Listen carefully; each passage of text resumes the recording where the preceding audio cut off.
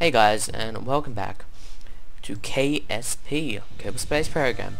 I made some new designs, I'll be showing them off today. I'll show you uh, a special design which I'd created. Okay, let me load a spacecraft. Um, and I call it Space Bin. It's pretty awesome.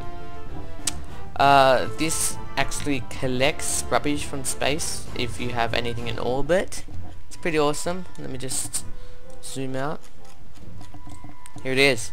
It might look like nothing, but when you fast forward the warp speed, it opens up. So this actually opens up and allows stuff to go inside. So it's quite a cool, nifty thing. So I'll save that and I'll launch it. Pretty awesome. A lot of parts in it. It's like 200, I think.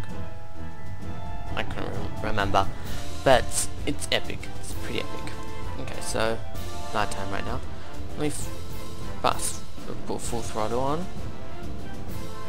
T spacebar. So then it will detach and then it will go up. So it does nothing right now, but when you um, slowly see how this opens up a touch, but when you fast forward it just for a little while, there you go, it opens up. Okay, so the more high you go in the atmosphere, the more it actually works a bit well. So it means the more faster technically. So we're not going so fast right now, but we're going faster each second. Okay, so yeah, so the more the warp speed 3 is quite bad. But if you put it too much, it's a little glitch in the game, so the pressure is more every time you put warp. So you should never put warp and uh, planet. Only when you're in space. That's probably the best time to do it, and only then. Because they can actually stuff up your whole ship, which you've been... Oh, yeah, there you go. Um, that's what happens if you leave it open for too long, it just stuffs it up. And that's a problem. It's a big problem. So let's be careful with that. Um, what am I doing? Let me launch it once more. Uh, I'll launch it once more and I'll go to space.